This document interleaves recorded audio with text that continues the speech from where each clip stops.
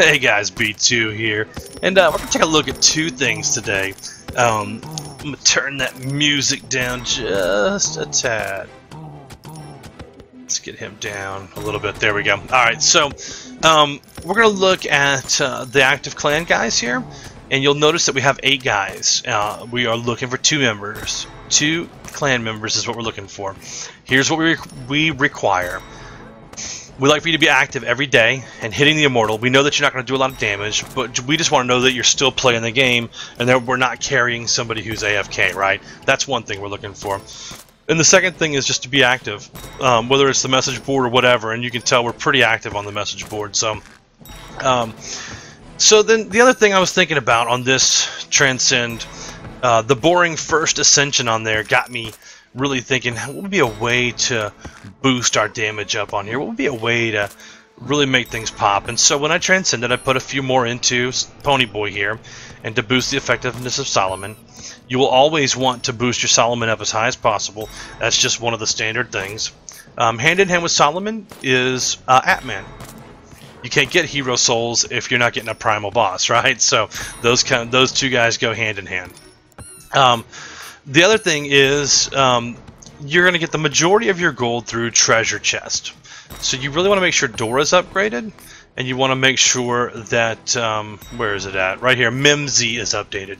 Uh, and you want to get the most gold you can out of these chests because you want to be able to upgrade these heroes as much as possible, right? So if you look, um, I can upgrade this already, but Phthalo is killing it. How is how is that that we're hitting that much damage, and I'll tell you it's from the Gilded. So every time I have a chance to upgrade, you'll see, watch, the DPS will slow down a little bit, but um, look at that.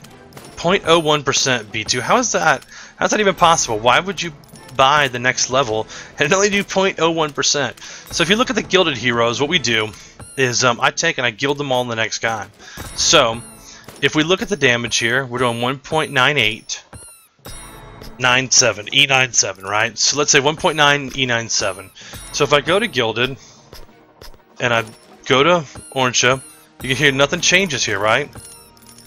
But this, 4.0 E97. So you can see automatically how gilding your heroes from Phthalo to Orange, it basically tripled or doubled your DPS, right? So then watch this. Bam! Look, we went from 97 to 100 in just a few seconds. So I don't even know how far this would go right now, auto, uh, without continuing to upgrade, but it's going to go for quite a while. So what I do is in the background, I'll play something else. And this is all from the gilding. Again, it's from Argaiv being pumped up so high. Um, and if I went through, I could still upgrade him even more. Right? And just continue to pump the DPS through the roof. It's going to go down a little bit. You'll watch it it'll go down, but it's because we're going down in hero souls right there. So um, the next time you ascend and you get more hero souls back, that's what'll happen. So I like to keep about 1 million to do these resets. Um, and we just kind of keep plugging along here, man. So look, any questions you have about this build, man, it's kind of an idle DPS gilded build, if you will. So, uh, so anyway, this B2 signing out. If you guys have any questions or comments, hit me up. See ya.